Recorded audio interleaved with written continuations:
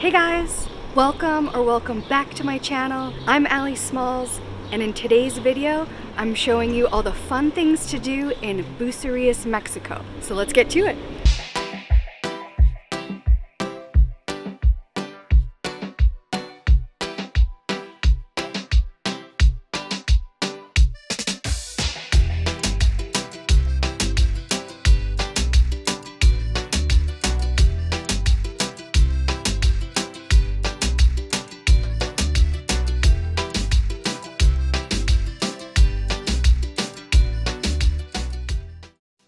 We're starting off with the beach, one of the nicest in the entire Banderas Bay.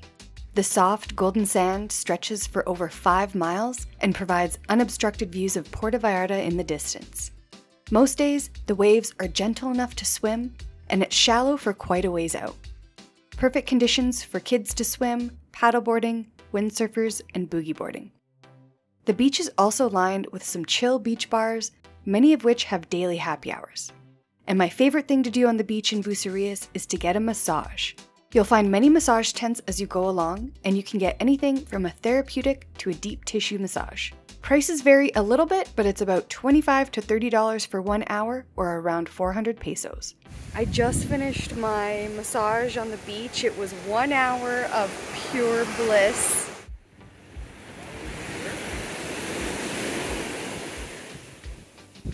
One of the best things to do in Bucerias is to go for a horseback ride on the beach, and we're doing it at sunset. It's pretty magical. This cost us 500 pesos each for a 45 minute ride.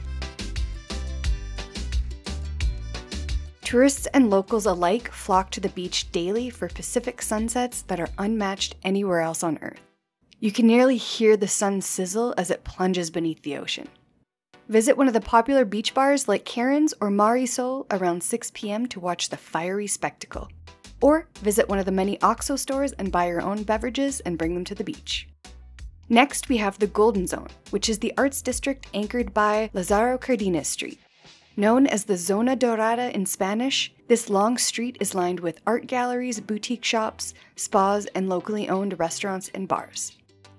It's also where the majority of boutique hotels and condo rentals are located, and is the most popular area for tourists to stay in. The Golden Zone is more than Lazaro Cardenas, but this is just the main street that anchors the entire area.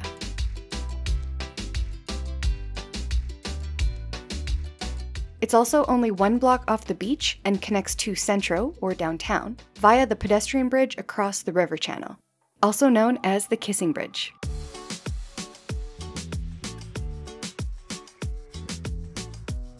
As you make your way into Centro, you'll pass through the souvenir market, which is open every day till about 5 or 6 p.m.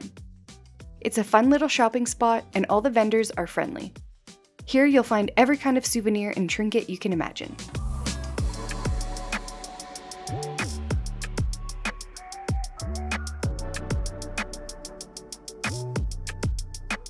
Centro itself is another popular spot to hang out. It's where the plaza is located and really comes alive at night with locals, vendors, and food stalls. There's also tons more restaurants, shops, and spas here.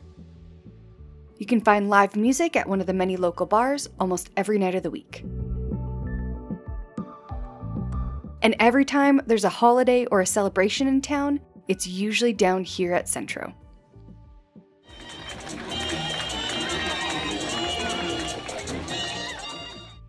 Another must do is try the street tacos and other local cuisine. In Centro, you'll find many vendors selling street tacos, so just follow your nose and pick one. The most popular kind of street taco in this part of Mexico is the al pastor taco. This is marinated pork, which is skewered on a rotating spit that they shave off and serve with pineapple, onions, and cilantro. We loved visiting Mr. Taco for this one. I do recommend you get acquainted with a taco tour early on in your visit. Then go back and try all your favorites on your own. We booked a walking taco tour through My Mexican Kitchen. I'll leave a link below so you can check it out. Wow, this was three hours of incredible, flavorful food and food that we might never have tried otherwise, as well as so much information and insight into the food culture here.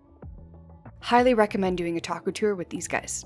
Not sponsored, it was just a great experience.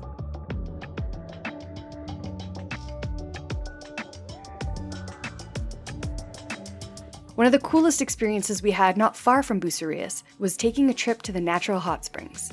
If you're up for an adventure, it takes about an hour and a half of driving inland to get there. Then you'll soak in these stone tubs in the therapeutic mineral water, which leaves you feeling refreshed with silky smooth skin. I've got a whole video dedicated to this special day if you want to check it out. We booked a tour which includes pickup, lunches, and massages on the beach. Keeping with the theme of places to visit just outside of Bucerias is the El Cora Crocodile Sanctuary. It's only a 15 minute drive to get there, and you can take a taxi or an Uber. This is a rescue and rehabilitation center for crocodiles and other native animals. For 250 pesos, or about $12, you get a guided tour where you get to meet all the animals and learn about their stories. Afterwards, you're welcome to roam the property for as long as you want. For chocolate lovers, a visit to Planeta Cacao is a must.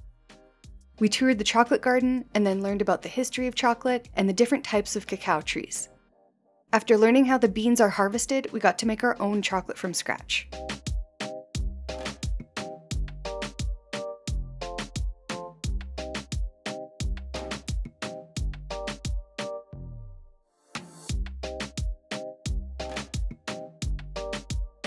We also enjoy visiting La Cruz, a small community 10 minutes north of Bucerias.